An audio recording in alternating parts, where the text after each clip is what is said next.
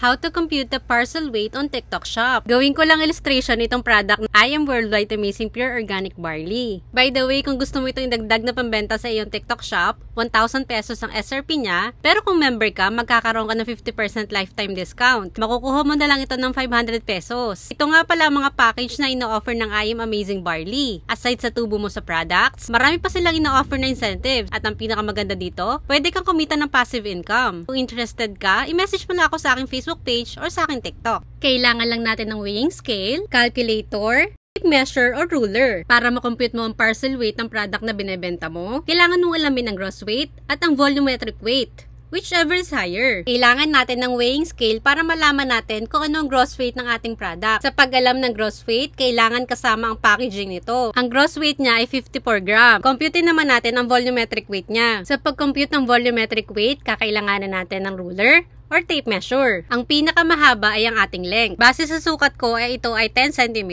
Ang sunod naman nating sukatin ay ang width nito. At ito ay ang lapad niya. Base sa sukat ko ay ito ay 8 cm. Ang sunod naman ay ang height. Nasa pagitan nito between 7 to 8 cm. Pero kukunin ko na yung mas mahaba which is 8 cm.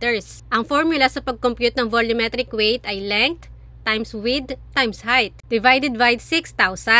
So 10 times 8 times 8 is equals to 640 divided by 6,000. Ang volumetric weight niya ay 0.1067 kilograms. Dahil nakagrams ang parcel weight niya, kailangan natin i-convert ang kilogram sa gram. Pag kinonvert natin ang 0.67 kilograms sa grams, ito ay 106 0.7 grams. Ang gross weight niya ay 54 grams at ang volumetric weight naman niya ay 106.7 grams. Ang parcel weight niya ay higher between the gross weight and volumetric weight. Since mas mataas ang volumetric weight niya, ito yung gagamitin natin. Since grams ang measurement ko, hindi tumatanggap si TikTok Shop ng decimal. So, gagawin ko na lang siya 107 grams. Optional lang naman ang product dimensions, pero ako lalagyan ko pa din. Marami nga pala akong video about TikTok seller and affiliate tutorials. Like and share mo na rin ang video na ito at huwag mong kalimutan mag-subscribe sa aking YouTube channel para updated ka sa mga tutorials na ipopost ko. Thank you so much for watching!